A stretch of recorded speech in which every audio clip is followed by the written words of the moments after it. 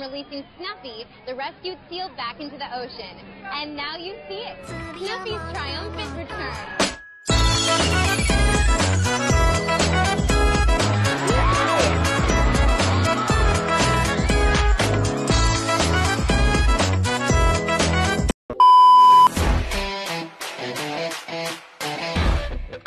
Como dije en algunos videos, quiero acabar rápido con las comparaciones del Realme 7 y ya solo nos quedan dos, esta que estamos haciendo y la próxima. Hoy vamos a comparar el Realme 7 versus el P40 Lite. Amigos, bienvenidos a TC Autotecno.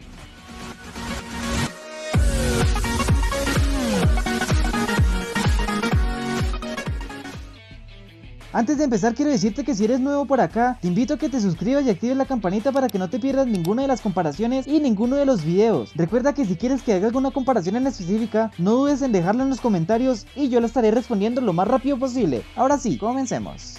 Empecemos hablando del Huawei P40 Lite. Este tiene una pantalla de 6,4 pulgadas en resolución Full HD Plus, tiene características como noche en agujero, una pantalla de cristal redondeado 2.5D multitouch y sin bordes. Este, como ya lo he dicho, no es capaz de grabar videos a 4K, pero tiene características como zoom digital, cuádruple cámara, estabilizador de imagen digital, autoenfoque, enfoque táctil, disparo continuo, ráfaga, geoetiquetado HDR, detección de rostro, ajuste de balance de blancos, ajustes ISO, compensación de exposición, modo escena y temporalizador automático. Ahora hablemos del Realme 7. Este tiene una pantalla de 6,5 pulgadas en resolución Full HD Plus, tiene características como notch en agujero, una tasa de refresco de 90 Hz, una respuesta táctil de 120 Hz, es resistente a rayones con Corning Gorilla Glass 3, pantalla de cristal redondeado 2.5D, multitouch y sin bordes. Este a comparación del Huawei P40 Lite sí es capaz de grabar videos a 4K, tiene zoom digital, cuádruple cámara, estabilizador de imagen digital, autoenfoque, enfoque táctil, ultra estable video, geoetiquetado HDR, detección de rostro, ajuste de balance de blancos, ajustes ISO, compensación de exposición, modo escena y temporalizador automático. Ahora pasémoslo rápidamente al paredón.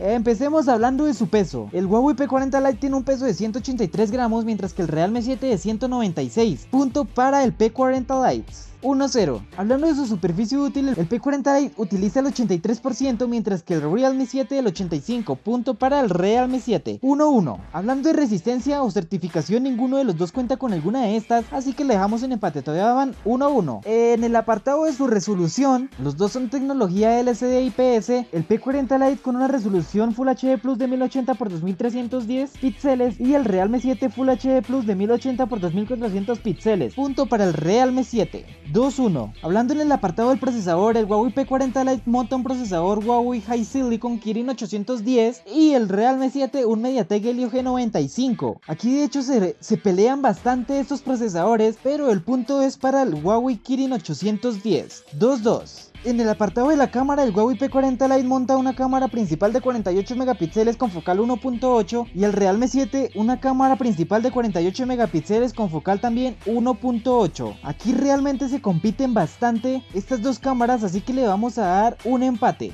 2-2. Hablando de conectividad con redes 5G, ninguno de los dos tiene esta compatibilidad, así que le dejamos un empate 2-2. En el apartado de la carga, el Huawei P40 Lite tiene carga rápida pero no mediante USB tipo C y el Realme 7 es de carga rápida mediante USB tipo C, la del P40 Lite de 40 watts y la del Realme 7 de 30, punto para el P40 Lite 3-2. Hablando de la batería, el P40 Lite tiene una batería de 4200 mAh y el Realme 7 5000, punto para el Realme 7 3-3. En el apartado del sistema operativo los dos vienen con Android 10 de fábrica, así que les dejamos un empate. Por penúltimo, hablando de su relación calidad-precio, al Huawei P40 Lite del 1 al 10 se le da una puntuación de 7.9 y al Realme 7 de 8.4, punto para el Realme 7. Por último, hablando de la señal de bandas, en 2 GB los dos aguantan 2 de 2 bandas, en 3 GB el P40 Lite aguanta una de 2 bandas, el Realme 7 2 de 2 bandas y en 4G el P40 Lite aguanta una de 3 bandas, mientras que el Realme 7 sí aguanta 3 de 3 bandas. Aquí le damos el punto al Realme 7, porque aguanta cualquier operadora. Bueno, ya tenemos un claro ganador y es el Realme 7 con 5 puntos y el P40 Lite con 3. Bueno amigos, esto fue todo por hoy. Recuerden que les dejo estos otros dos videos por si quieren ir a verlos. Saludos, cuídense, bendiciones.